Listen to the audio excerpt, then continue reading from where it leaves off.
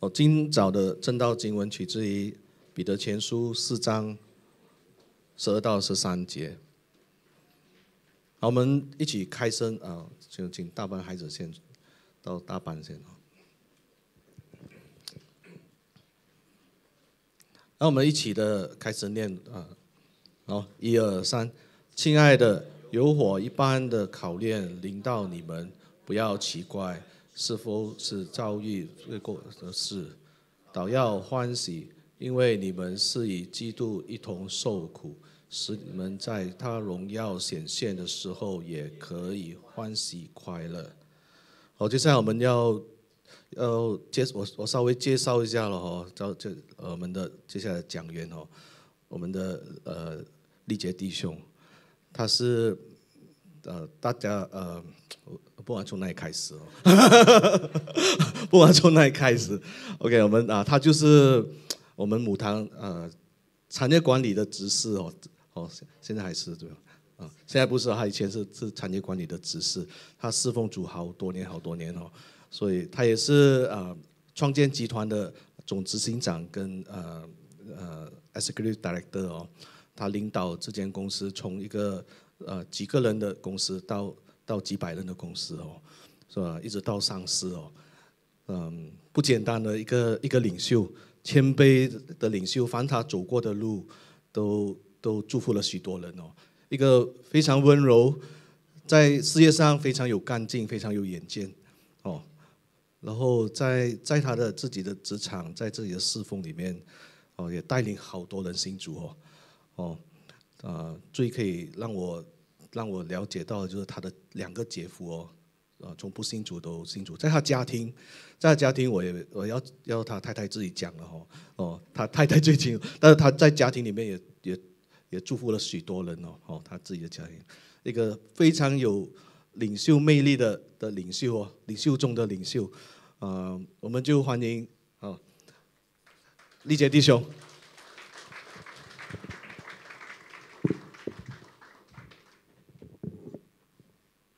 大家早上好。今天呢，我就要跟大家分享一个比较比较沉重的一个课题啊。虽然是一个沉重的课题，可是我想我们大部分的人都曾经有想过，呃，这几个问题，就是说，如果上帝是爱，那为何有那么多的痛苦，对不对？可是我们很多人可能，当我们在痛苦的时候，或者我们身边我们爱的人在经历痛苦的时候，其实我们很多是选择不要去理会，因为你想不通嘛，对不对？就不去理会。今年四月三号的时候，就大概是六个月前，啊，其实当时我经历了一个很严重的车祸，啊，这是一辆车，啊，这是一辆车子。这是一辆 Wellfire，当时我，呃，我的司机开车，我坐在后座，我们正在往这怡保的方向去。早上九点半，当时我还记得我的椅子是侧着的，我是斜躺着，用着我的电话，还在在做这些公事嘛。然后突然间我就听见很大声的、很大声的“砰”一声，非常大声。然后直接就看到前面的镜子都是全黑了，我看不见什么，全黑。看到我的司机非常的慌张，东张西望，我就马上知道是车祸了。当时我是有绑安全带的，然后我第一个反应，第一件事情，我就是祷告，我说：“主啊，救我！”我就就是那么简单的，我说：“主啊，救我！”然后呢，我就找我的电话，我找到我的电话，我就马上 text 给我的太太，我说：“我呃遇到了车祸。”然后我在 text text 到一半的时候，突然间我的手就开始抖很厉害，那个痛开始进来了，抖得非常厉害，流冷汗，呼吸不了。我的我的肺部呢，基本上我所呃受到的那个那个伤害呢，是我们叫 seat belt injury，就是其实是安全带造成的严重损伤。因为当时我是斜躺着的。所以，当那个撞击撞下来的时候，可能几乎百分之百都是集中在我的肚皮肚子上。如果我是当时是坐直的，可能还没那么严重，所以直接在我的肚皮上。当时其实我内部已经是内出血，大概有一公升的血在肚子内部，非常痛，我根本就呼吸不了。然后我再看，哎，我才发现原来我前面那张椅子的背后就是我前面呢，为什么有血？我在查看自己身体的时候，原来我的大拇指、我的脚趾已经断掉了，啊，然后我的骨头呢，刺破了我的袜子，穿破了，所以当时非常非常的疼痛，就是流冷汗。当时是早上九点半，接下来的整个波折呢，真的是不好受，因为当时。路人就叫了那个救护车啊，ambulance 来，就把我载到最近的，就是 b 多的 b 多 hospital。去到 b 多 hospital 呢，那边个比较小的医院，他们只是专注在我的脚，没发现我的内部其实是内出血，所以搞了两三个小时照 X 光，然后才发现到哎里面这个严重，没有，然后告诉我说没有医生，结果又抬上救护车。再上去怡保中央医院，去到怡保中央医院，我那时候是不能动的，我躺着。当他们把我推进那个 emergency ward 的时候，我基本上也吓了一跳，因为在 emergency ward 里面，我看大概有四五十个病人在那边喊啊、痛啊、隐含啊，全部都要急救，都没有医生。所以在 emergency ward 呢，我又在那边等了几个小时，没有医生。一直到我太太来，我太太来到的时候呢，就帮帮我办那个出院手术。等到我进到潘代 hospital，已经是傍晚六点了。所以我九点半车祸，一直到六点，然后八点就进手术室，经历了很长的一段时间的身体上的那个那个痛苦。所以，我和一般人一样。我就会，我都我会问说：上帝为什么这样的事情会发生在我身上？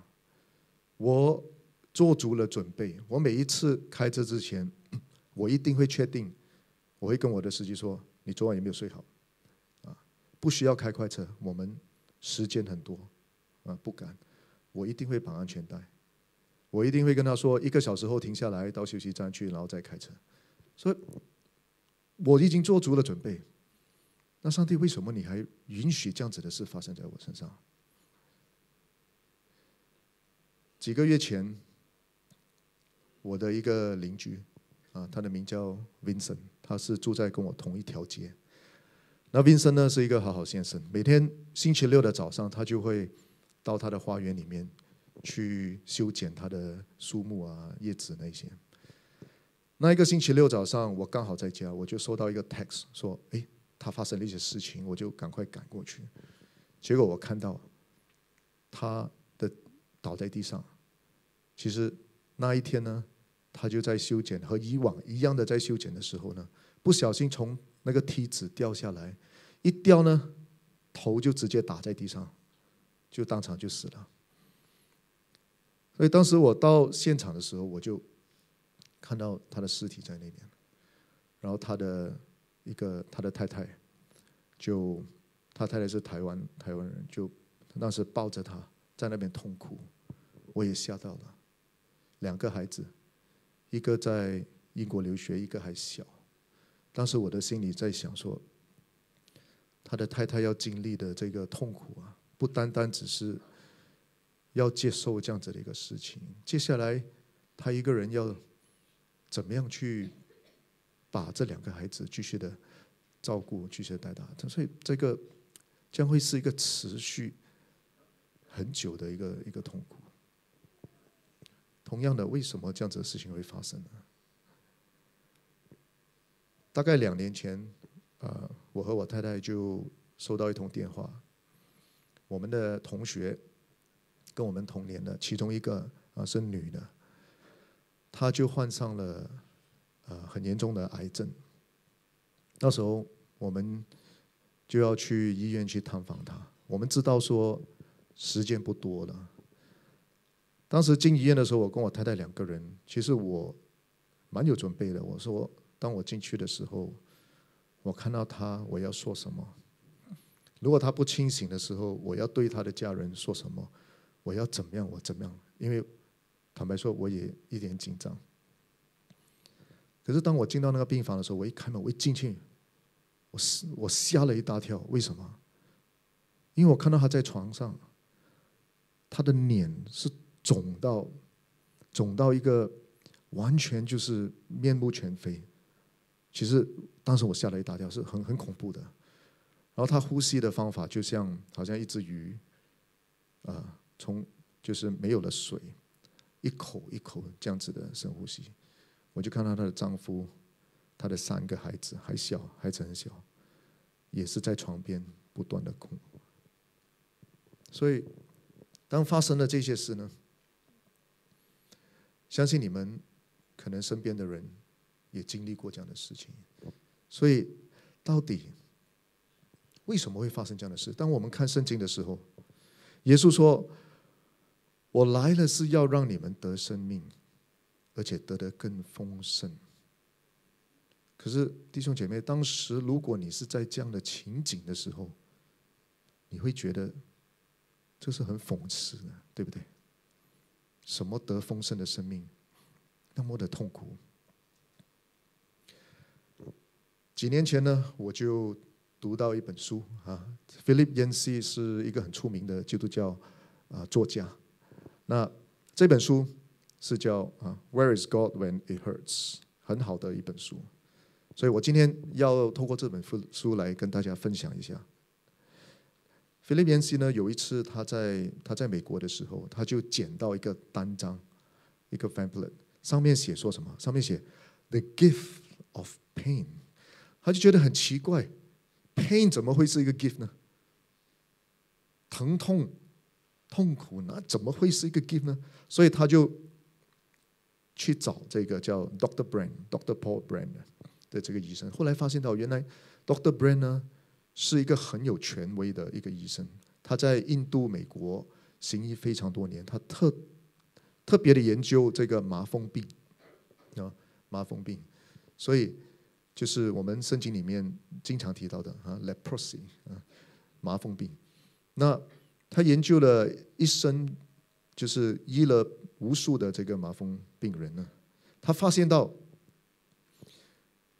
你们如果你们去麻风病，你们去松开部落麻风病呢，你会看到很多他们的可能手指断掉，或者手断脚断这样子，对不对？他发现到原来不是麻风病的这个病菌造成他的肢体的腐烂，还是断还是什么？不是，其实麻风病呢是造成这些病人失去了感觉，他感觉不到，就是你摸的是碰的时候。根本感觉不到，所以造成了四肢的损坏，是怎么样呢？哦，其实麻风病是一种慢性的传染病啊，它会让你的神经线、你的呼吸道、你的皮肤还有眼睛啊，你会长这种肉芽，他们叫肉芽，然后你就会失去疼痛的感应力啊，you will lose your sense，你感觉不到，所以。他是一个权威，他竟然说，Doctor Brain 竟然说感谢主，Praise the Lord，因为他创造了疼痛，这是不是很奇怪？怎么会有人感谢主创造了疼痛呢？疼痛让那么多人经历痛苦，怎么会有这样子的事呢？Doctor Brain 他就有告诉大家，他说。在他非常多的病人里面，他抽几个例子来告诉我们。比如说，有一个啊麻风病人呢，他要修理他的这个椅子，所以他就拿的那个螺丝刀啊，screwdriver。他在转的时候呢，因为他感觉不到嘛，他虽然抓得到，可是他感觉不到那个力量。他一转的时候呢，太大力，结果他手转断了，他的手这边就断了啊。另外一个呢，在美国的时候，他当时在美国。啊，美国都有火炉嘛，因为冬天很很很冷嘛。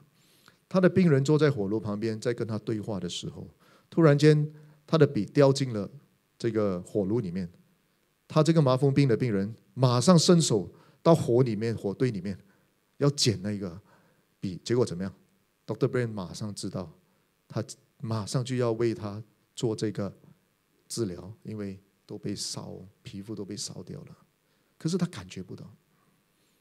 还有一个，呃，还有一个病人在麻风病院里面，他就普通的这样走走，突然间他往后看，哎，怎么一大堆血在地上？原来他的脚踩到了一个钉子，他自己也不知道。当他看的时候，他的脚已经受损很厉害了啊，因为拖着那个钉子走，那个钉子啊，拖着这样子走。还有比如说，还有一个小孩，做一个很简单的事情，就是开门嘛。当他开门的时候，太大力一转，手指断完了。所以，这个 Doctor Brain 他发现到麻风病人他是多么的渴望，他可以有疼痛的感觉。你们明白吗？他们多么的渴望，说我希望我可以有回这个疼痛的感觉，让我可以保护自己。所以，从这个角度看来，Doctor Brain 说，疼痛。的这个感应力啊，pain，其实是一个警告的系统，it's a warning system。其实上帝造给我们的一个警告的系统，对不对？你要到火堆，你还没靠近，你感应到那个热，你马上你的手就会缩回来了啊。所以这个甚至在呃菲利园系的书里面，他有呃。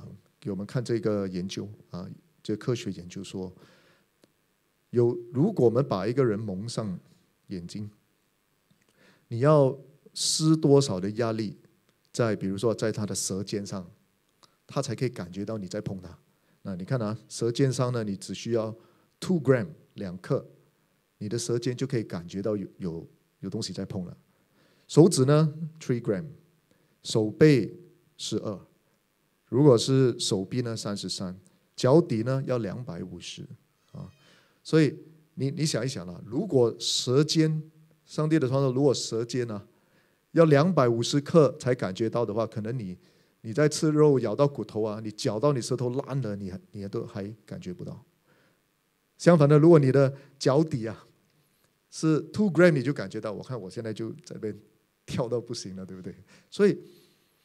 你看，这个上帝的创造是非常完美的。这个是一个很不一样的角度去看疼痛。我们几乎没有想过，原来疼痛其实是有益处的，而且它是 productive，它是有生产力，它是会有成效的啊。那我说了那么多，其实还是没回答到。是上帝，可是为什么还有苦难呢？为什么还有苦难呢？疼痛是跟苦难是不一样的，因为你看，虽然麻风病人呢没有疼痛啊，他感觉不到疼痛，可是他是活在苦难中的。为什么会有苦难呢？告诉你们一个故事，因为当我看这个故事的时候，这个女生叫 Claudia，她是一个美国人。那 Claudia 她的经历呢，基本上啊，跟我觉得跟我在躺在病床上的时候有点相似啊。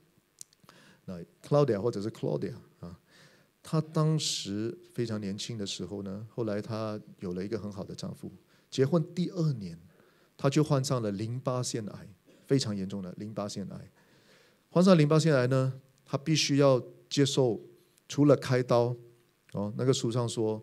开刀要从这个淋巴这边开刀到到肚皮上，他还要经历当时呃非常有破坏力的这个辐射的的治疗，非常痛苦。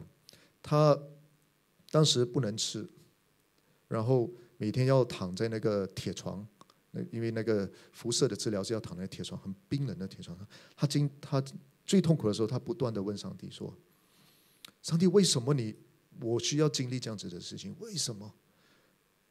然后他也希望他的教会、他的朋友都能够给他一个为他寻找那个原因，为什么他必须要经历这样子的这个痛苦呢？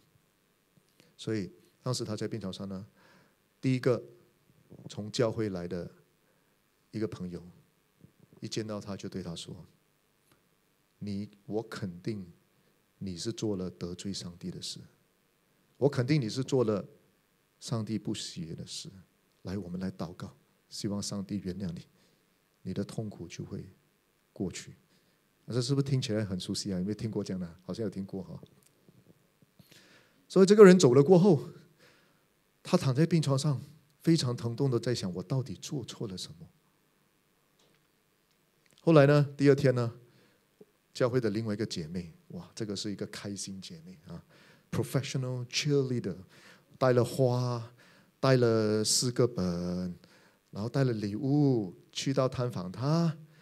就唱诗歌给她听，还讲笑话，还读经文，嘻哈。可是每当 Claudia 要跟她分享她多么的疼痛的时候呢，这位姐妹就会哎，行哦，转话题，避而不谈，就是要制造一个非常开心的一个气氛。就这样子，一嘻哈一个小时以后，这个姐妹就离开了。到底要怎么样呢？他还是回到他的迷惑，他的疼痛。有人笑啊，是不是很熟悉啊？有有经历过这样子的。第三个教会的一个弟兄，他来到他就说：“疼痛不是上帝来的！你要有信心，你不够信心，你要有信心。你跟我现在做这个有信心的祷告，来，我们叫这个痛苦离开你，这个病痛就会离开你。你要有信心，这样子。”过后祷告呢，跟他一起祷告过后呢，他还是必须经历这个病魔的这个啊攻击啊。然后第第四位呢，可能是最属灵的了，他就来到说：“我们凡事都要赞美上帝，来，我们来一起赞美上帝啊！唱赞美诗过后，来，我们一起祷告，主啊，感谢你让 Claudia 经历这样子的痛苦啊啊，这样这样这样，所以。”最后一个呢，他就来到医院里面探访，就跟克劳说：“你知道吗？你是被拣选的，你是被上帝拣选的，来经历这个痛苦，因为你有能力，上帝看得起你，像约伯这样子。那你的这个经历呢，你的痛苦呢，将会让到其他的人归向上帝，所以你是被拣选的，啊，是不是很熟悉？”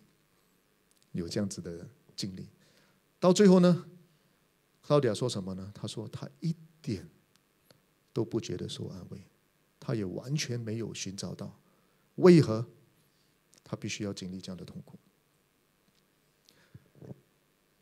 我们尝试一起去寻找啊，为什么这个世界上有苦难？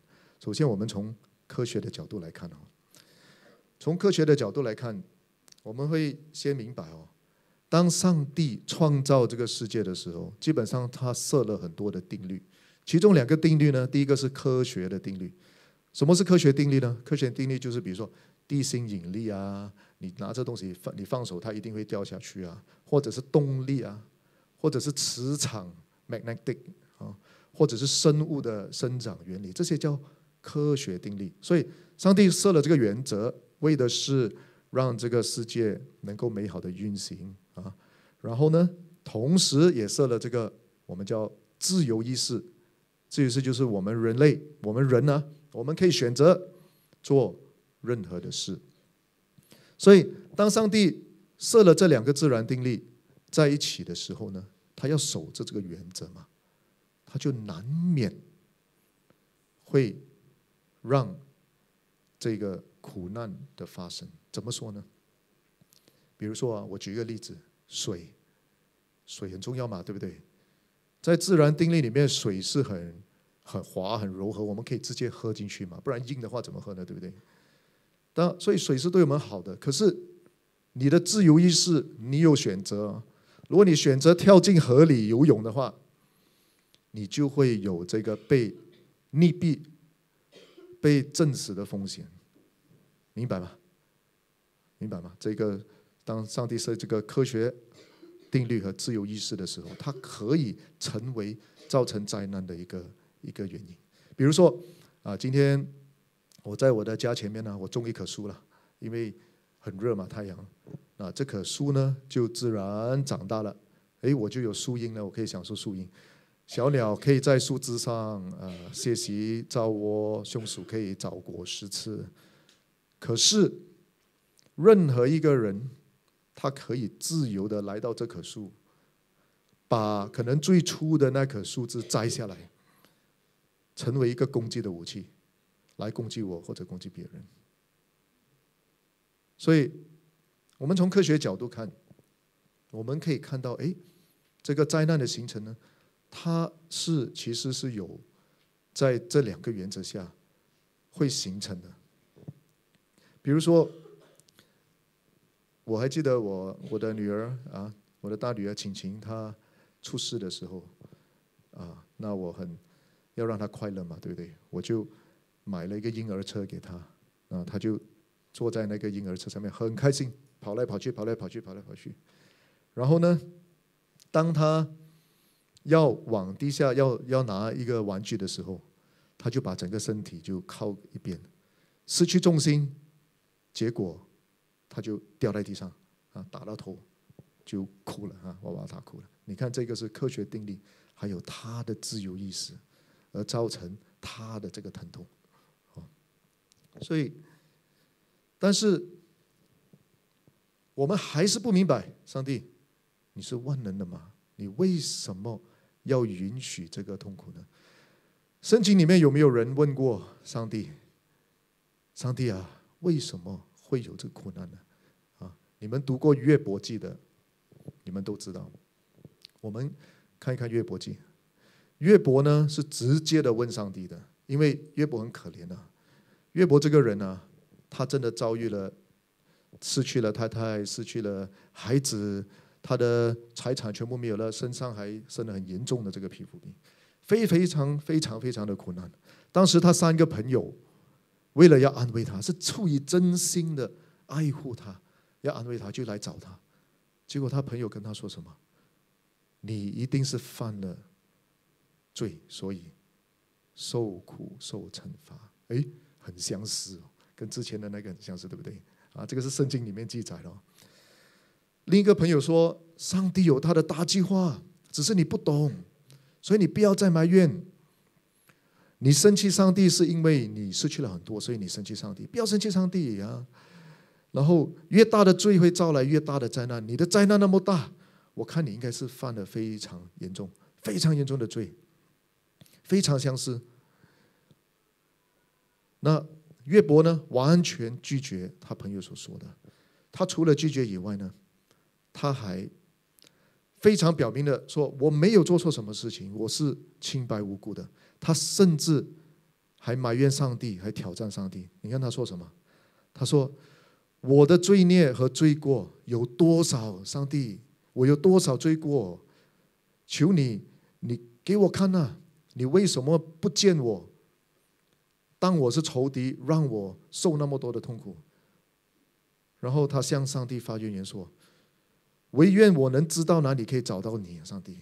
我要找到你，我要走到你的台前，我要跟你，我的案件我要跟你成名，就是要跟安，要跟上帝，好像有一点要去啊辩论这样子啊，我到底做错了什么事？你要让我这样子的来受苦？所以约伯当时非常非常多的埋怨上帝，为什么？为什么？为什么？上帝有没有回答他呢？有看过约伯记的知道吗？上帝有没有回答他？上帝有。上帝怎么样回答他呢？上帝发言回答约伯说：“啊，那时耶和华的旋风中，在旋风中回答约伯说：‘你这无知无识的言语，使我的旨意暧昧不明的是谁呢？我现在要你如勇士束腰，我要问你，我要告诉你。所以，上帝呢？”他是以一系列的问题问他，其实回问约伯来回答他。他是以上帝以大地如何被造，天上的万象如何被护理，还有动物啊的自然界如何生活，这样子的方式来回问约伯，好像我们讲啊，好像在有点逮那个约伯这样，我逮累啊，逮这样子。他说：在所以你在经文里面你看到约伯记三十八，他说，他就说我奠地大地根基的时候，你在哪里？啊，上帝是有一点讽刺性的哦。你如果是聪明的话，你说了，啊，所以这些照片哦，都是在约伯记里面，上帝让约伯看见的，啊，说啊，比如说第十节，自你有生以来，你有没有吩咐过晨光照耀？你有二十二节，你曾入过血库吗？二十三节，这些血泡是我为患呃降患难的时候，为打仗和征战的日子所存留的。所以上帝让他看见，你看。我做了那么多，你做得到吗？你明白吗？啊，这些照片哦，也都是上帝有提到的。他说：“野山羊的产期，你明你知道几时吗？你看看河马啊，你看看它的力量，你看它尾巴等等的。所以，上帝让约伯看到了一系列他伟大的创造，来回答他的埋怨。”到头来，我想问大家：约伯的问题，上帝有回答到吗？其实上帝没有直接回答约伯的问题，为何会有苦难？没有，上帝看来他是有意的，他他不要好像一步一步啊，很规划式用逻辑来去解析说，哎，为什么会有苦难？没有，其实上帝只是说了。你看我的创造，你不要埋怨，你必须要知道我是信实的。上帝说你要相信我。上帝有回答到他的问题吗？没有。上帝只说你要相信我，不要把埋怨把重心放在问题上，就说为什么会发生这样的事情。上帝这样子的回应呢？他其实主要是有一个很重要的一个信息，他就是说，约伯就像你和我一样，我们是没有可能、没有办法明白这个生死的奥秘的。简单说，我们被创造的时候，我们没有被创造成可以明白上帝为什么会允许苦难在这个世界上。上帝只说：“相信我。”比如说刚才的例子，当我的女儿晴晴她从这个婴儿车掉下去的时候，碰到头了，我就从那天开始，我就把这婴儿车收起来，不给他玩了。他就哭啊闹啊，哭啊闹。你说我有没有可能告诉他说，他是一个婴儿吗？我也没有告诉他说。你不行，你坐这个婴儿车，如果你的重心完全放到一边啊，你地心引力你就会掉下去，打到头，打到这里受伤的话，影影会影响你的血管什么？我不可能告诉他这些，我只能抱着他跟他说：“晴晴，你相信爸爸，你相信啊，爸爸，你相信爸爸是为你好，这样子。”所以，上帝跟叶伯的对话，上帝只说：“你看我多么伟大。”我多我的能力，所以你要相信我，我会照顾你，我是爱你的，你是没办法明白，可是我会与你同在，你要相信我。那非常多的京剧在圣经里面有说，啊，我们要相信上帝。那上帝有没有告诉我们说，哎，我们几时可以明白呢？有没有啊？其实。是有启示的啊，在哥林多前书里面有这样的一句话，保罗讲，他说：“我们现在是对着镜子观看，模糊不清。到那时啊，很多的人就相信，到那时就是有一天，当我们到天堂的时候啊，我们就要面对面了。我们现在所知道的只是一部分，到那时我们就完全知道了，好像主完全知道我们一样。”所以我们是有盼望的，我们有盼望的，所以我可能可以跟我的女儿讲讲，到那时你就明白了啊！现在应该明白了啊，这样子。所以，我们被创造成为在这世上，我们不可能知道啊，明白吗？接下来，上帝还说了什么关于苦难的呢？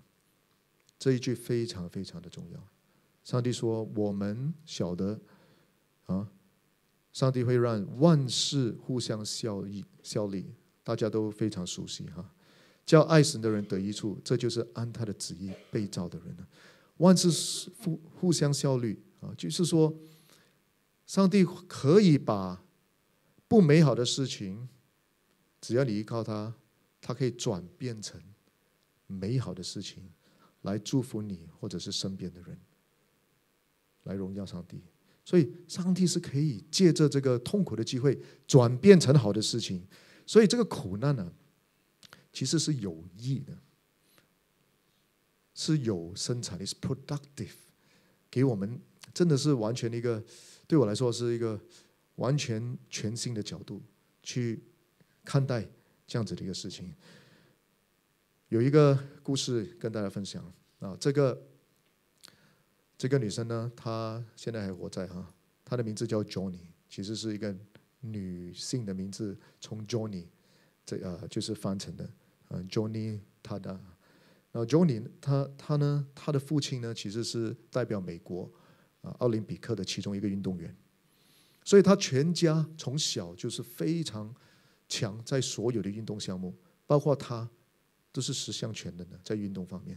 可是，在他十八岁的那一年，有一次他在家附近的一个河呃叫河游泳的时候呢，他就跳入水里。他当时他就低估了那个高估了那个水的深度，他以为那个水很深，其实很浅。所以，当他向前这样子跳下去的时候呢，他的头直接打在那个石头上，所以就全身瘫痪了。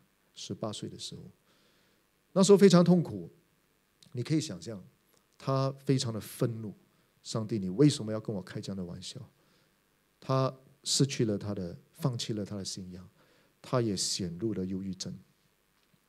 两年的时间，有一天在就是在医医院不断的去治疗。有一天，他的一个朋友就很无意的就跟他说，因为他还是非常的愤怒，他说：“你知道吗？”经历这样子的这个瘫痪的受苦，不只是你一个人，连耶稣基督也经历过。他就很奇怪说：“你你你在到底在说什么？”他说：“是啊，当耶稣被钉十字架的时候，他的手脚都被钉，他基本上是瘫痪的。所以他经历的痛苦呢，是你现在所经历的痛苦。所以这个 Johnny 呢，他在他的分享里面他说，当他听到。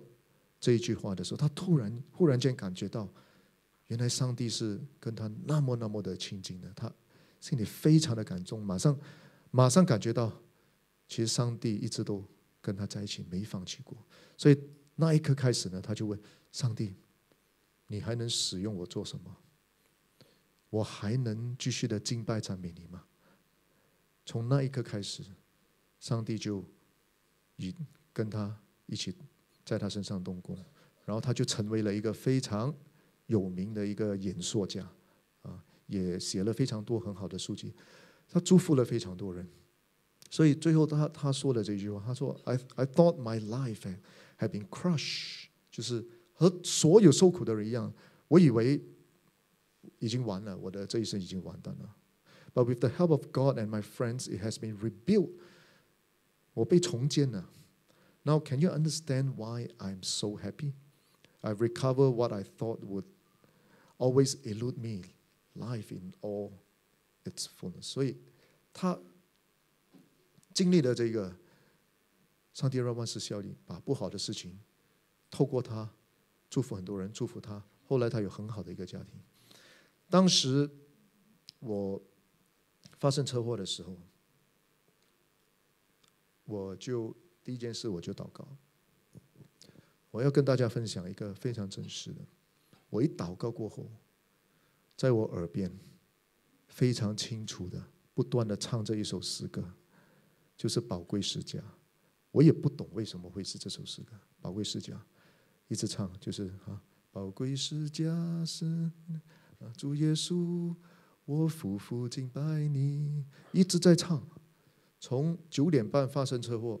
一直到八点，我进入那个手术室被麻醉。这首歌一直在我耳边唱，当时我非常清楚，我在虽然我不能动，我在那个救护车上，有一个人坐在我旁边。我一直听到这首歌，我还尽量勉强的起来看，在旁边是不是有一个收音机，还是还是什么东西在播放这首歌，非常非常清楚。上帝没有让我减少任何的痛苦，可是他让我知道，我与你同在，我与你同在。所以其实当时我听到这首歌的时候，其实我是没有害怕的，因为我知道上帝与我同在，我知道上帝必定会。让万事效力，把这不好的事变为好的事。所以我不要把我的焦点集中在为什么会发生这样的事，我的焦点是发生在我放在上帝。我期待你如何把这件不好的事转变为美好的事。我要看，我有盼望。所以当时我是这样的心理的。后来呢，我在整个过程中，我在教会，呃，我在医院，我住了七天。两天的 ICU，五天的这个 intensive care 的这个病房。我整个过程中，我现在坦白说，我当时觉得好像上帝好像当我是婴儿这样子啊，抱着在照顾。我真的有这样的感觉，被照顾到无微不至。然后当然同时，朋友的这些关怀啊，那个 SMS 啊，text 到我的手机要爆炸了啊，然后教会的关心。为我祷告，和非常多人要探访，到我必须要呃拒绝说推迟一点。这些真诚的关心，真的让我非常感动。然后我也听说，哎，我的公司里面的职员啊，哎，突然间很勤奋起来了啊。让我最可贵的就是，我在一个月在家里的这个疗养的时候，我妈妈。就不断的照顾我，我我感觉上，我上一次我妈妈这样子来照顾我，好像是我还在还在读小学的时候，到了中学我住宿舍，然后大学就离开了，所以非常宝贵，跟我妈妈有了一个月的时间，非常多的沟通，啊，二三十年来非常宝贵的沟通时间，所以我非常珍惜这个这个时段。当时专科医生啊，specialist 告诉我说：“你要过了三个月，你才进公司，才去上班。你要过了六个月，你才开始做一些小的运动。可是感谢主，过了一个月，我就去上班了啊！我不是说很紧张要上班，可是我感觉良好，我就一个月后我就上班了。第三个月呢，七月多的时候。”我就爬上了沙巴的冒 KK，啊，对，感谢主，非常非常的奇妙。所以当时我是，呃，我是非常期待看见上帝如何在我面前，在我眼前，啊，来万事效力。那回到一个问题，就是说我的这个朋友患癌症的这个朋友。我们探了探访了他，过两天他就去世了。那后来我听说，原来他去世前的一年，他已经接受了主，他接受了上帝。所以我非常非常的有信心，说，首先他到了天堂，上帝肯定会给他一个荣耀的身体啊，像在圣经里面记载。另外一个，上帝必定在他的家人、孩子、丈夫。身上动工，让万事效力，把不好的变为美好的。所以，上帝还说了些什么呢？上帝说：“你们不要觉得奇怪，有苦难啊。所以，如果你们传福音的时候，你跟人家说啊，你信了耶稣，你就没有苦难啊，这个不对啊啊！上帝没有告诉我们说，相信了上上帝就没有苦难。不，上帝说，你相信我啊。”你有苦难的时候，我必定与你同在。上帝说：“有苦难不要觉得奇怪，要欢喜快乐。”啊，不是叫你说“哇，很痛啊，很快乐啊”，不是啊，不是这样子啊。虽然我们很痛苦，可是我们心里必然必还是有欢喜快乐。为什么？因为我们有盼望，我们可以期待上帝。我很痛苦现在，可是我知道你与我同在，我要靠着你，我要看，我要看你如何把不好的变为美好的，因此我们要欢喜快乐，明白吗？所以，上帝还说啊，上帝关心我们的痛苦，上帝知道我们痛苦，因为他经历过，上帝也答应他必与我们同在。所以，弟兄姐妹，我们自古以来非常多的哲学家、宗教家，就不断的要去解析，要去寻找为什么会有苦难。有一些呢，他就告诉你结论，就说啊。我们要对苦难视而不见，你不要管他。哦，有一些哲学宗教呢，他就说啊是轮回报应；有一些就说你最好什么都不要做，活在这个世界上，做越少东西越好，那你就会越少苦难啊。那这些都不能完全解释为什么会有苦难。我们基督教呢，圣经呢，我们的上帝也没有尝试去解释为什么有苦难。可是，上帝告诉我们，不要把焦点放在为何会有苦难，因为你们无法明白，有一天你会明白。你要相信我，你要相信我，我会把不好的转变为美好。所以，弟兄姐妹，如果今天这个时候，你是在经历着某种的痛苦，可能是疾病的痛苦。或者心灵的痛苦，或者是你身边的人正在受苦，你有选择，你可以选择继续的埋怨，继续的愤怒，继续的把焦点放在这个为什么我那么不行？